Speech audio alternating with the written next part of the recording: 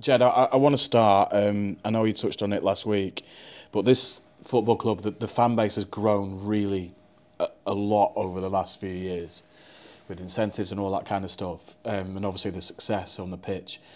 They showed their love for the club, didn't they, at the weekend before the game with, with, with the um, trying to raise awareness about the situation of the club. What what would you say to those supporters and what did you think of all that? No, I said uh, after uh, the game the other day, they were fantastic. They, they turned up in the numbers obviously you see how much they love the club, they want to go, they want to be run correctly, and it's it's down to them. They come every week, so you've got to get behind. you brilliant. you brilliant in the game as well, Saturday for us.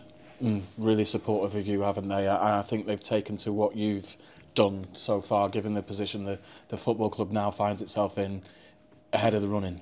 Yeah, well, they see how, how much we've progressed with the new players coming, and they've all settled in really well. Uh, and they see, excuse me, play entertaining football. So the results are going well, so they, they got behind us really well. Do you concern yourself at all with, with the off-field issues? Or is your total focus on, on this team and getting can, into wing matches? I can't affect it. Mm. You hmm. know what I mean? It's not it's, it's way out of my hands, so it's not like I do about it. So I've got to really focus on the football and get the results, what we are doing, and, and get back into the run with the last 10 games and a good push to get in the playoffs. So I, as I say, I can't affect what's going on upstairs. Um, on the pitch, obviously, you, uh, Farron Rawson is missing for a few weeks. Max Melbourne now suspended. Um, obviously, you've used your squad a lot in the last few weeks. You've had to. You've brought in the players. That's what a squad's for, isn't it? Uh, d does it leave you short at the back a little bit? It does, yeah. yeah but Stokes has come, come in and he's done really. He was playing when Faz was playing as well, to be fair. So, but he's, he's he's took Faz's place and he's doing really, he done really well Saturday. And you got David come back from suspension, so it times well with Max. Max gone out, David's come in, he's another top player. So we're, we're covered in them areas. We've just got to listen. The lads have done fantastic since I've come here, and they've, gone on a great run and showed what a good team they are. And the belief, if they have the belief that we've had in the last few weeks, I'm sure we can go another run. In terms of the long-term injuries, is anyone likely to miss the the rest of the season? Do you think?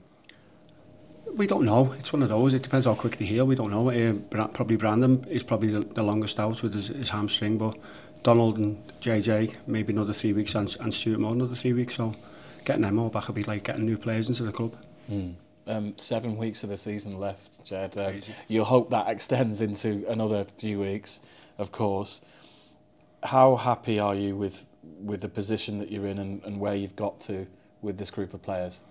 I'm delighted where we've got to, but I, I like winning games, and there's games where, where we look back where we should have won, and we'd be fair, but there's games where, where we've been lucky and we've come back and we've won, we've had the luck, so it, it's balanced itself out over the season and I'm really happy the way we're going at the minute and the way the lads are um, putting the shift in for us. You've got some resilience, haven't you? Because when you have lost, you, you respond. When you go down in a game, you've come back and won. That alone will stand you in good stead for this um, next few weeks. Definitely, that's the team spirit. It's, it's the lads down the way.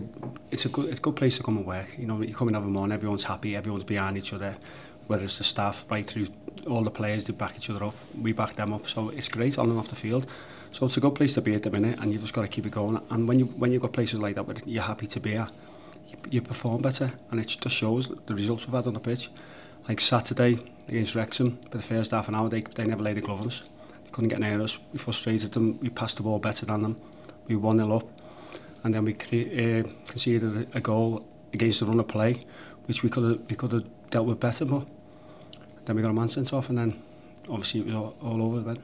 Does that atmosphere around the club, that sort of identity around the club, come from you, Jed? You, you're, you're the one that's in charge. It comes from everyone. It comes from me, myself, all the staff, all the players, everyone, all of us together. Yeah, and um, that's what we are. We're like a little family, and we, we're all back each other up, as you've just said, and we'll keep doing that till, till the very last day. On, on Saturday, you said that the team is a different animal now to the one that faced Wrexham November at the very beginning of your reign, when obviously things were you were sort of, you know, making sure everything smoothed itself out after the departure of Derek Adams. Why do you think they're a different different animal now? Well, different players mm. to hmm. start. Um, obviously, I'd only had one day in the job, in some manager, so I couldn't really put my my stamp on it. Uh, now it's been what three four months where where I've tried to get them playing the way I want them to play, and they're all on board, they're all buying into it and obviously all new players. We lost the five lone lads, and we got we got five lads, new lads in who've all done really well and and got on board with what we want, and that's why we're a different team. How do you get them playing the way you want to do? Is it meetings, training ground routines, in-game management, the discipline of the players? I guess is comes into a factor as well. How, how do you get them? Because you seem to have done it very quickly. All of the above, like I said, uh, really work hard in the training ground.